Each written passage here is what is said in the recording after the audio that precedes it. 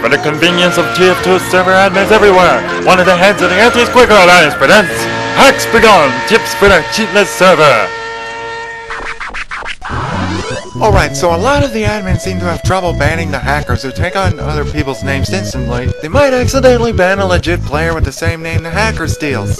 I'll tell you, you don't have to look further than your own admin menu to distinguish between the hacker and the real players. Before your target changes their name, go to the ban player menu and look at these numbers beside the player names.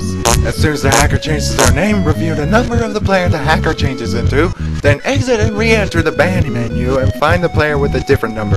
That's how you do it. I have no idea what's with the numbers, but they do help identify the players on your server.